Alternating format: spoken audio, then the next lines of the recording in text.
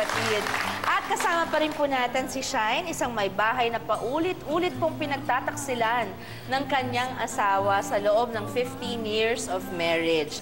Mabalik tayo sa tanong kanina, Shine, nung iniwang ka ni Gerald, nakahanap ka ng isang taong nagmahal sa'yo at um, ah, ito'y tumagal ng more than a year, di ba?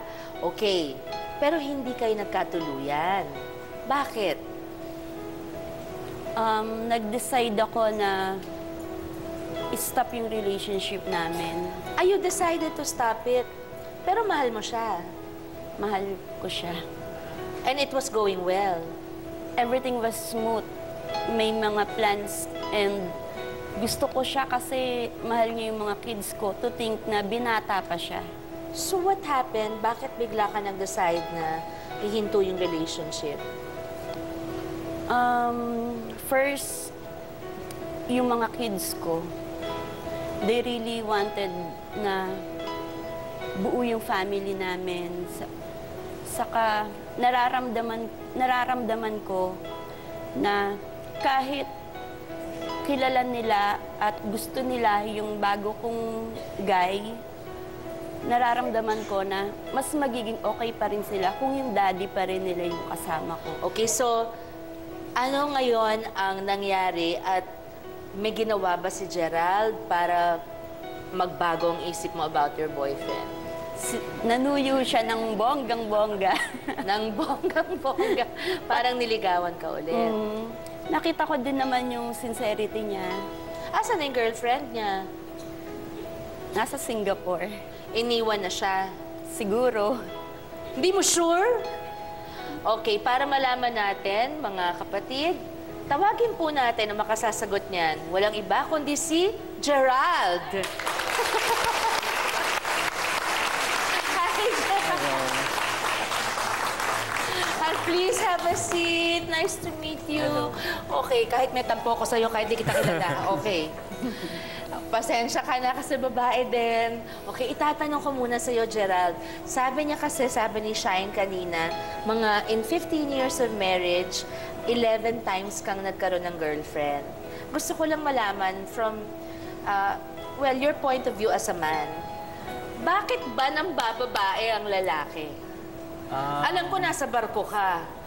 Pero, teka muna, nasan yung mga babae kung nasa barko ka? Saan mo nami-meet? Sa ano lang?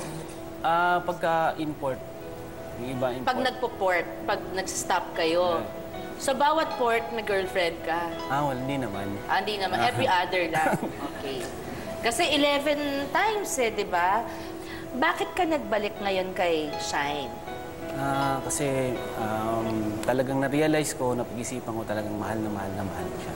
Kailan mo na-realize ito? Kasi para iwanan mo siya um, for another woman, na gano'n gano katagal tumagal yon? Six months lang.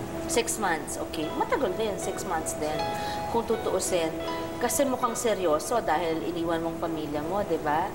Anong nagpa-realize sa'yo?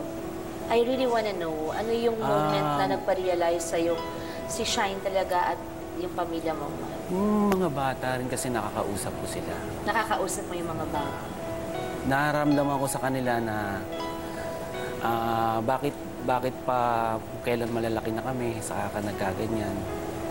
Sini-explain ko naman sa kanila. Pero talagang, anong doon, talagang mas mahal ko talaga yung asawa ko. Dahil one time then, I know nagka-boyfriend siya. I texted the boyfriend of her. Nagselos ka? Hindi, nagmakaawa ako na sana, please, I want to buuin ng pamilya. Pinagsisisihan ko ng lahat ng mga ginawa ko. Anong sinagot niya sa'yo? Hindi naman nag-reply yung boy.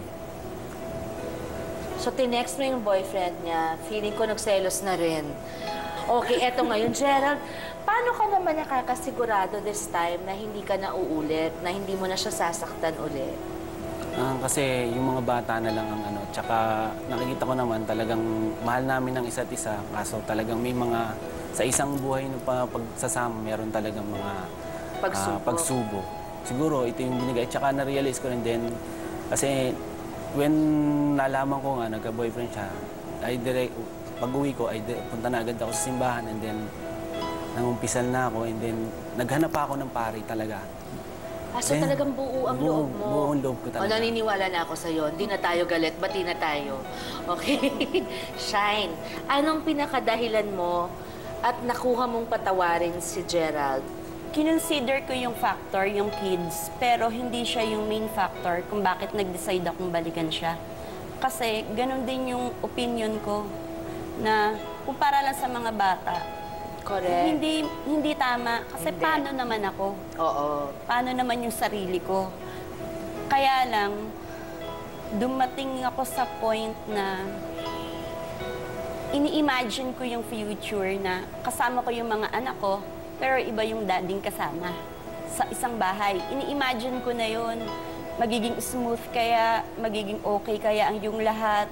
Na-realize ko talaga na gusto ko kung tatanda ako, siya yung kasama ko. So, mahal mo si Gerald talaga. Ganun din naman ako sa kanya. Napakaswerte mo naman.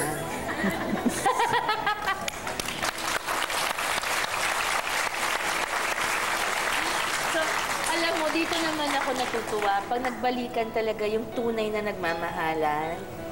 Well, I guess he learned his lesson na shine, ano? What do you think? I think naparealize ko naman sa kanya yung worth ko. Naman! You are so worth it! Di ba naman? Dapat ganyan talaga lahat ng babae. We are so worthy of a man's love. Hindi natin utang na loob na mahalin tayo. Dahil kung magmahal tayo ay buong buo rin. In the same way na hindi din naman utang na loob ng lalaki na mahalin tayo. Kundi dapat talaga, kung mamahalin tayo, tayo lang. Yung bang hindi mo nga siya ipagpapalit, pero wag mo naman dagdagan. Kasi minsan di ka nga iiwan, pero may kapitbahay. Oo. Maraming salamat sa iyo, Shine. Thank you very much. Also, thank you, Gerald. Thank you. Ayan. Dahil pinakita niyo sa amin ang importance ng pagiging matatag sa gitna ng kawalang pag-asa, lalo na ikaw, Shine. At ngayon naman, isang kapatid na dumaan din sa madilim na bahagi ng kanyang buhay at ngayon, unti-unti nang bumabangon muli. Nakita na niya ang daan sa pagbabago sa loob ng isang bilangguan. Panoorin po natin ito. Dati po, nag-aaral po ko sa Baguio ng high school ng father ko sa Baguio Colleges Foundation. Kaya nang isang araw po, yung bayaran po ng eskwelahan, eh, nung namasyal pa ko sa Bonang Park, inuldak po ako ng gang ng SEC, Sige-Sige Komando. Kaya po simula noon, naiya po akong ah, umuwi na sa bahay. Kaya doon ako sa Burnham po nalalagi. Hanggang po kinukupa ko ng isang babaeng hostess. Meron siyang boyfriend na leader ng bahala na gang. Nung kwento ko yung nangyari, sabi niya na gaganti kami. At tapos yun, simulan mo nun yun, hindi na ako umuwi hanggang naging membro na rin po ako ng bahala na gang. Kilalanin po si Emmanuel sa pagbabalik namin. Kasama mo, kapatid. Pumatok siya ng 5 o'clock. Pagbukas niyo po ng pinto, ano po sabi niyo? Welcome home. Yun yung, yun yung sinasabi kong unconditional love. Pinagsilbihan niya ako ulit na bilang nanay ko.